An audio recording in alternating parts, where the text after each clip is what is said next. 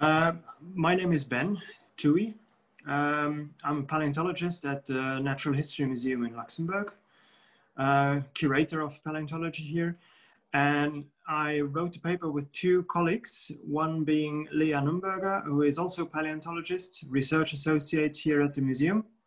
And the third co-author, the, the, second co-author is uh, John Jagt from the uh, Natural History Museum in Maastricht in, in the Netherlands, also a paleontology curator. We found a new species of brittle star fossil. It was already dug out uh, more than 20 years ago, but we discovered it as being a new species. We do have quite precise age of the fossil. It's uh, estimated to be 66.7 million years old. We uh, combined uh, two of our passions, namely fossils and rock music. Uh, you, you could you name it after anything and anybody. And we decided to pick a, uh, a very quite uh, famous vocalist who happens to be from the Netherlands, which is uh, evidently a nice context in this case.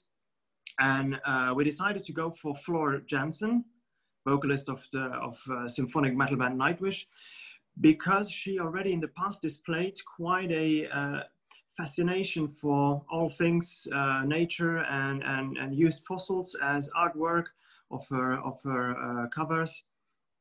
And she expressed a general interest in naturalistic things. And of course, we are fans, otherwise, uh, it wouldn't work out. So it is kind of a way to celebrate the mutual inspiration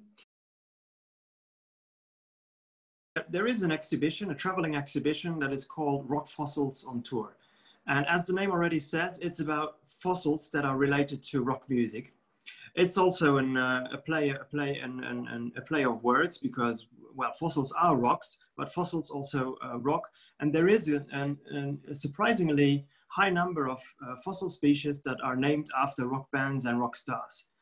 Uh, just to give you a couple of examples, there is an, a fossil worm uh, named after Lemmy from Motorhead. There is a small dinosaur from Madagascar that is uh, uh, named after uh, John, um, Mark Knopfler from the Dire Straits. There is a mastodon fossil, mastodon being the band, not the animal. There is a Slipknot fossil. Any any kind of any kind of um, uh, superstar and band from the from the rock and, and metal scene is represented in this uh, in this exhibition uh, it is currently on display in Maastricht until January 3rd at the Natural History Museum. And it shows, among others, the uh, fossil now described and named after Floor Jansen, but it also shows all the other fossils that, are, uh, that have been described in the past and that bear the names of uh, rock stars and rock musicians.